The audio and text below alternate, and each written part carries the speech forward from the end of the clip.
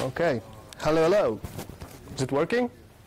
Sorry, it took some time to set it up, but here we are. So, my name is Jacopo. I'm going to talk you about complex cameras, and now we are trying to make it less complex. So, my name is Jacopo. I'm an embedded Linux software engineer. I mostly work on integrating camera systems and multimedia devices. Here are a few of my contacts. Here, you welcome to ping me. And why are we giving this talk? Why are we doing this work in first place? That's because the increasing complexity we are used to in embedded systems regarding the camera acquisition process, it's coming into canonical computing space like laptops and tablets. And Linux systems have a problem with that. Are Linux system ready? No, they're not. And so we have a problem, and we're trying to solve that. It's pretty not necessary to state either this here in this room, but digital imaging is a complex task. It's not complex that it's complicated, but it's computationally expensive. It's computationally expensive during the acquisition phase because you go through all the debayering and interpolation and pixel transformations. It's complex when you have to do image quality tuning like auto balancing, uh, white balancing, out exposure, whatever. And we usually work with very big buffers, like uh, not that big resolution in the quite common format. It's 4 megabytes of data, and we are transporting this back and forth different devices. If we look at the architecture of a system like it, like it is today, like it presents itself today, regarding the image capture part, let me, well, it doesn't go away, I'm sorry. Regarding the image acquisition part, we usually have a few uh, acquisition ports. Today is mostly CSI2, backed by a big fat ISP. Uh, the ISP interfaces itself with uh, system memory for doing DMA transfer of images. It interfaces with other system components like DRM. It interfaces with the CPU. It has very fast interconnection because it's a system peripheral. And externally, we have a sensor, of course, that provide the image data.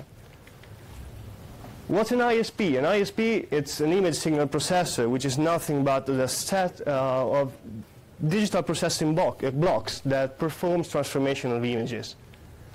It's com composed by configurable blocks, so you can create pipeline of transformation that does different kind of transformations. And what it usually, it usually does, it's interfacing with memory, so DMA transfers, rescaling, resizing, cropping, all kind of transformations it can convert formats so from one format to another, the pixel encoding, uh, make it easy to present image to application or whatever. And it can do a lot of advanced image processing features like 3A and reprocessing, tuning, etc. It's very efficient because it's a system peripheral, so it runs a very high frequency. It has a high-speed interconnection with CPUs.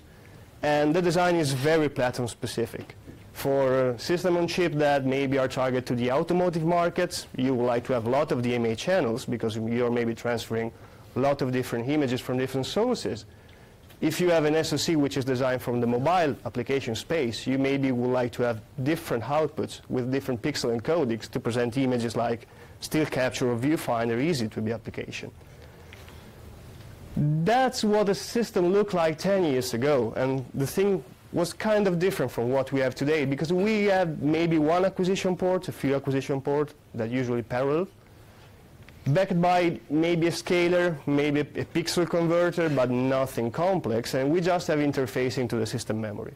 Of course, the sensor outside dealt with most of the complexity at the time. That was called smart sensor. That's why, because they were doing most of the things that nowadays run on the ISP. VDA for Linux has been designed, the VDA for Linux API, in a time where system looked more like this. So we have a single device node abstraction in user space that controls the whole acquisition process.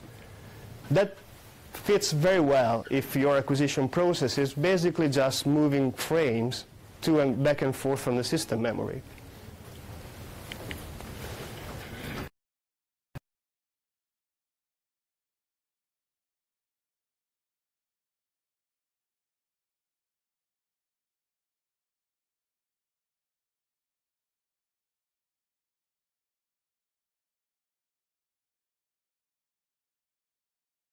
Set of IOCTLs, which are called the media controllers, that allows you to link the different processing blocks and create different pipelines. And through the v4l2 subdevs API, that allows you to control what formats and what transformation each block performs. This is very nice and powerful. Uh, you still capture images through the device node, through the Vida for Linux 2 up, uh, API like it used to do. And this is very nice and powerful, but it has a problem. The problem is that the system usually doesn't boot in a usable state. You have, before you can do anything, you have to configure the pipeline, set up links, set up the formats. And to do that, all the applications that want to interface with that need to have a very good knowledge of the underlying hardware. So this is very platform specific. Also, to perform a capturing application is not just like we used to do with a start stream on the video device node, but you have to set up precisely all the pipeline components because otherwise you get back what an epipe, an error, and you cannot stream. So for embedded system, this is okay because okay, it's acceptable because you usually bake your own rootfs. You can embed scripts there. You can do whatever you want. It's very system specific. But if you think about something like that running on a laptop, that doesn't work for real because distribution are not ready for that. They uh, they aim to be generic, so that doesn't work very well. And until today, that was not a problem because most cameras on laptops and tablets were USB cameras. USB cameras are smart sensor. They just connect through a USB. They are very platform, uh, platform agnostic because USB is universal. And it fits very well in the Vida for Linux 2 single device node abstraction. You have a single entry point for the whole control capture, image capture process, and you control everything that goes on through that single entry point. There, we have a library, libv4l or v4l2, which controls, which work with most of the sensor that we have today, USB sensor, and does format conversion and makes easy to write application for Vida for Linux. But something's happening, and we start receiving bug reports. That's very recent one. It was on the Linux media mailing list one week ago, I guess. And basically says, I have a laptop, and I cannot see the webcam. I like the concept of dual boot.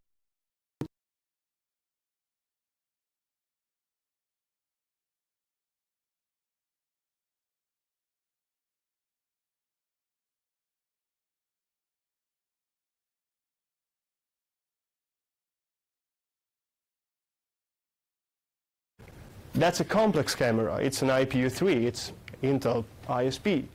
And you need a driver, of course, but you also need user space to do all the configuration and tuning, so that's not going to be supported. That's what, what's happening is that we start to seeing uh, Intel, so um, Kaby Lake and Skylake platforms, which embed a complex ISP. And producers have started making laptops and tablets using that one. Driver is okay, is in staging right now. It has been submitted to Linux Media, so good work with that. But we're still missing the user space part because this device simply doesn't work on Linux. That's how, just to give an idea how an ISP works, that's a simplified model of what happens on the IP, IPU3. So we have two different blocks. One that, that is in charge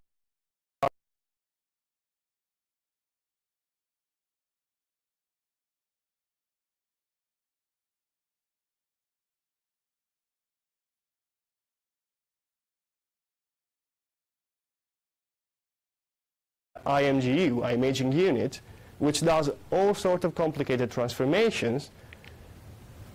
And you got three different outputs, one that you, which is scaled, one which is full size, and a set of metadata, which is used for tuning a very complex 3A and tuning machinery, which is fed to another input, which controls how the next images are captured. So this is complex, and this is a complex camera. So in order to work, to have something like that to work, you have to bake some uh, script that set up all the pipeline, all the formats in its single piece of the, of the cap capturing pipeline. And that's very complicated. So a discussion starts like, um, I think was July. There was a meeting in Tokyo for the Video, Vida for Linux community that uh, derived meeting notes. And the issue is that we have devices which are not working. Mauro gave a very nice presentation at ELC about complex cameras and why they are complex and how they work so far.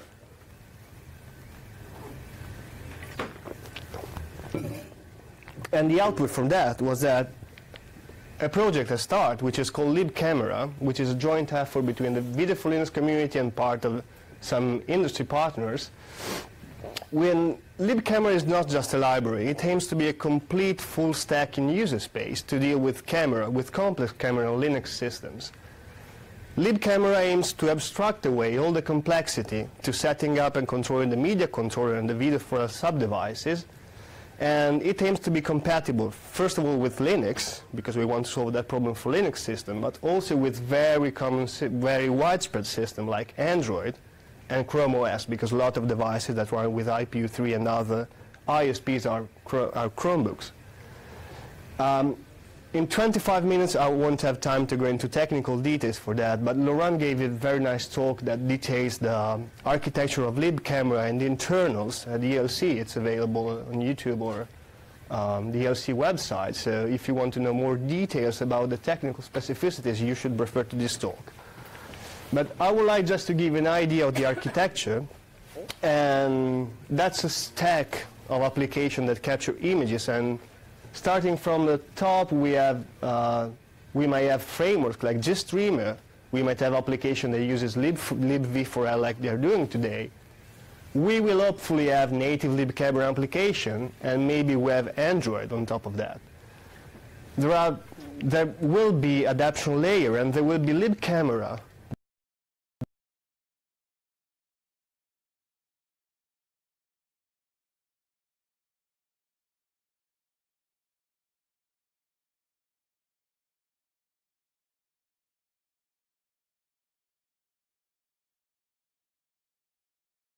on the camera object concept. So if you ever work with media controller, you know that nowadays we have to specify which media device you want to work on, which video device node you want to operate on. LibCamera aims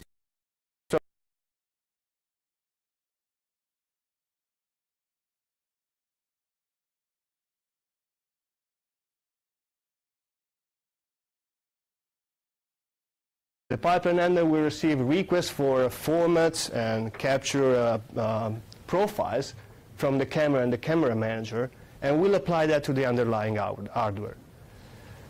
As we've seen the 3A in tuning, it's kind of important on those kind of platforms. So we uh, design an RPC system to isolate processes that run a 3A algorithm because those kind of um, processes are usually provided by the vendors.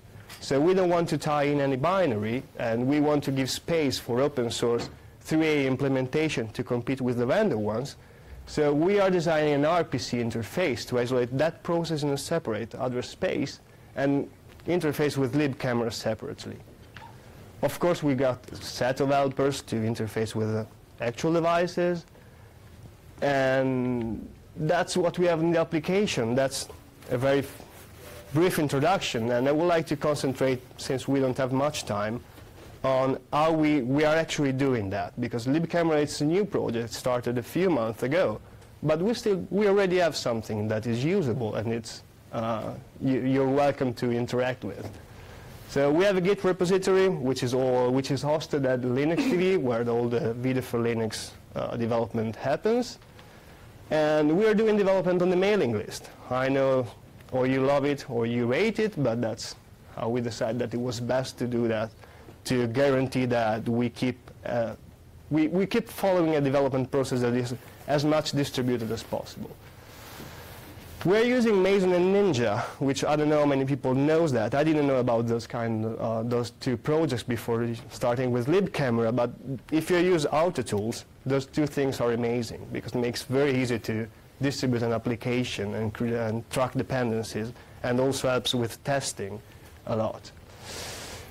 We do enforce a coding style, which is something that most projects do, and we do that because we want to have the code that which, which level of quality does it, as, as close as possible as the kernel one. So it's partly to satisfy our OCD and have the code that looks nice, But it's also because we are using that, we are, we are developing in C++.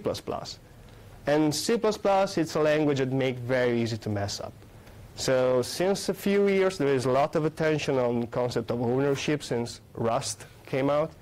Um, and doing that in C++ requires a lot of enforcing in coding style and coding rules. And in order to do that, since we are doing C++ and we don't have support from the language itself, we love peak reviews. So if you're used to the level of reviews of peakness, of reviews of, on the Linux kernel mailing list, that's what we aim to have. So you're welcome to bike shed, to bike shed on the variable declaration order, names of the variable and stuff like that, but also we invite you to be to take part in that and help to be to keep the code quality very high as we would like to have. We also try to be serious at documentation and testing. Uh, we found out that writing proper documentation it's more difficult and takes more time than writing code possibly. And we're using Doxygen for that, which is great. We generate the website from the source code as well as well as documentation. And we enforce testing because we would like to have all major components that gets in to be uh, associated with the test. And we aim to have much more platform as possible that support those kind of testing. Where are we right now? The project is very young, very, very young, just two months old, and we have support for uh, UVC cameras, which are the traditional USB cameras, and we have a almost fully working support for Intel IPU3, which is the first and most urgent targets that we have. We can list and um, detect hot plug and hot unplug of cameras, and we can capture frames actually, which is kind of a nice thing con considering that until a few months ago, those devices were not working at all in Linux. Where do we want to go? Um, libcamera want ideally should support OISP that has a uh, media controller compliant kernel support. So there are a lot of ISP that are possible targets for next development. There is Rockchip ISP. There are other platforms which has a good support in kernel space, and we aim to support all of that. of course, in mobile space, there is um, a big competitor for all Linux system, which is sort of Linux system, which is Android. And Android has a very complex camera stack.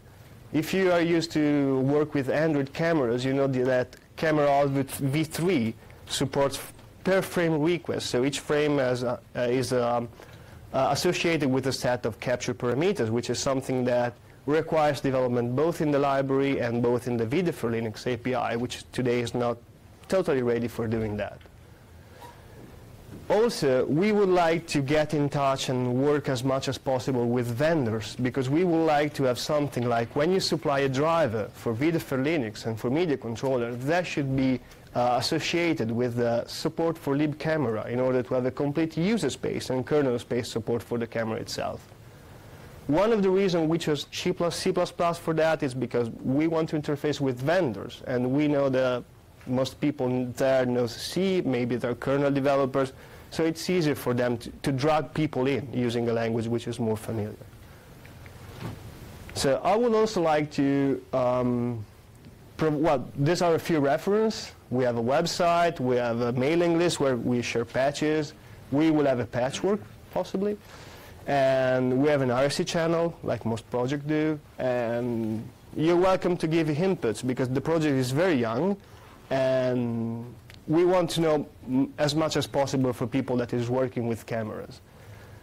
Before going to question, which I hope you have some, I would also like to give uh, a brief, and I would say that's not a demo because it's, it's very, very simple, but this device is a device with, as an IPU3, it's a Chromebook, uh, as an IPU3 device and was not supported by Linux system until a few months ago. And right now, I think we can do, we have a small utility, which is called CAM, that allows you to... right? Wonderful. So it was working before.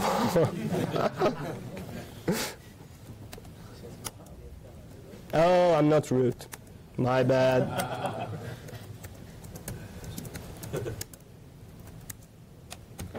Here you go. We have two cameras. Wait, wait.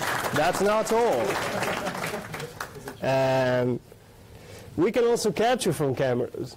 You, as you can see, you identify cameras by name. The name is now created by parsing the, the, the uh, not the ACPI table, but par just parsing the, the sensor name. You can identify camera by calling that by name. You don't care about which media devices they are connected to. And we can capture frames, hopefully, and thanks to a, with a bit of conversion, there is an image there. Trust me, it's it's very dark because we don't have all the machinery to do the tuning in place, but at least we can capture frames, which is something that until a few times ago was not possible. So I think it's a good achievement.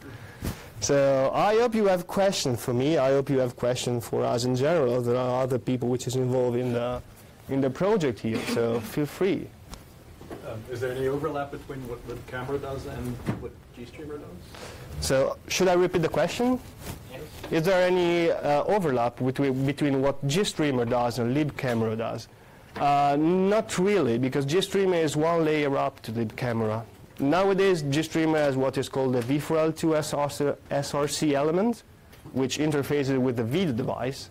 We hope to that we will have a libcamera element where you can just interface just asking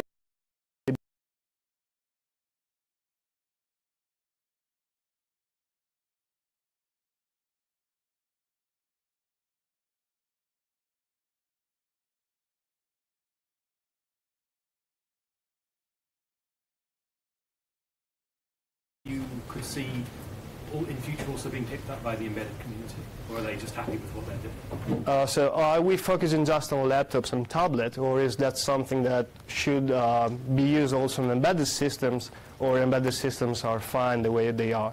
I don't think so that embedded systems are fine the way they are, because every today everyone is uh, making his own solution.